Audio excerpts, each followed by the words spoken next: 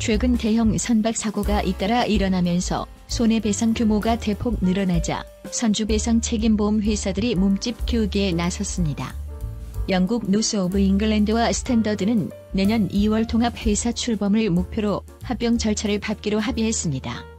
올해 5월까지 회원사 의견 수렴 절차를 마무리하고 규제 당국의 승인을 얻어 8월부터 단일 조직으로 업무를 시작한다는 구상입니다.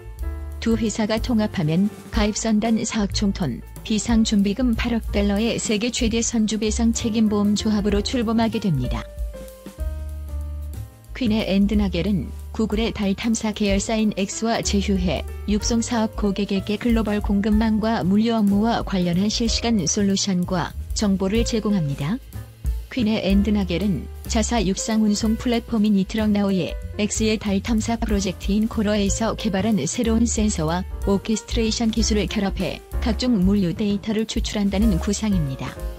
스테판 폴 퀴네앤드나겔 수석 부사장은 가시성과 정보를 결합해 고객들에게 정확하고 실행 가능한 데이터 기반의 전망을 제공해 공급망 전체의 건전성을 높여나갈 계획이라고 말했습니다. 북미 항로는 물류 대란을 겪고 있는 화주들을 위한 선사들의 서비스 개설과 선박 투입 소식이 줄을 이었습니다. 싱가포르 선사 시리드 쉬핑은 우리나라와 중국, 미국 동안을 연결하는 아시아 미동안 서비스를 개설합니다. 이스라엘 짐라인도 중국과 미주 동안을 연결하는 짐 이커머스 익스프레스 볼티모어를 4월 단독 개시합니다.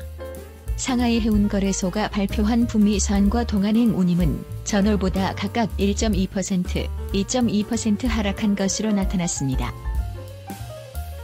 종합물류기업 한진이 3월 24일 제66기 정기주주 총회를 개최하고 태양광 발전, 전기차 충전 등 신사업을 사업 목적에 추가하고 미래 먹거리 개발에 나섭니다.